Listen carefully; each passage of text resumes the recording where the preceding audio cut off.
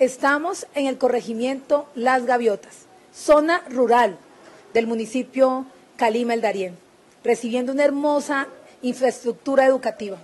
Aquí demostramos que realmente nuestro Valle Invencible aporta a infraestructura educativa.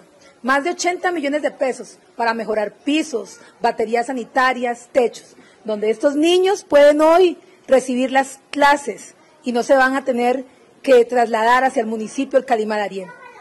Esta es la forma de demostrar que estamos en el territorio, en la ruralidad y que la educación se está evidenciando de calidad desde el departamento del Valle del Cauca. Chao. Chao.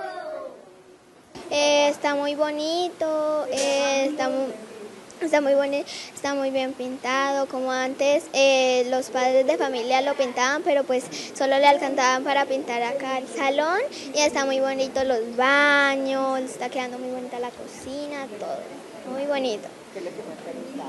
Eh, a mí lo que más me ha gustado son los baños y los lavamanos. Porque a mí me gusta mucho ese el cosito de lavamanos que uno le hace así y él se cierra normal y uno no tiene que estarlo cerrando, abriendo ni nada. Entonces uno le hace así. Y los baños porque me gustó el color de, de las puertas, me gustó adentro cómo quedó y pues me gustó todo, me gustó muchísimo. ¿Qué le dirías a la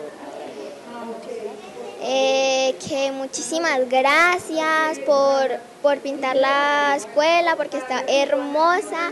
Muchísimas gracias, un besito y la, la quiero mucho.